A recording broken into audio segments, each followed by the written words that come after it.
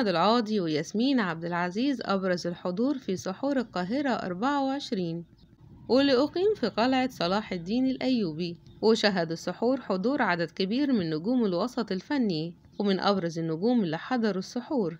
الفنانة إلهام شاهين والفنانة عبير صبري والفنان صبري فواز. بخلاف النجمة ياسمين عبد العزيز والفنان أحمد العوضي. وده أول لقاء بيجمعهم بعد فترة انفصالهم. بس ما تعرفش قوي كده.